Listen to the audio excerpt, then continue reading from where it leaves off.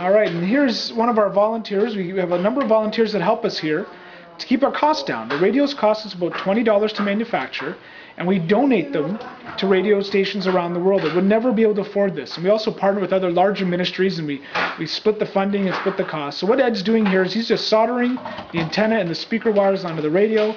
He's going to close it up, and then we're going to take it in to be tested. These radios, they have to work. Uh, the areas they're going up in the Andes, into the deserts, the jungles of Colombia, um, and so they're very durable. We make sure that we test them to make sure they all work out really, really well.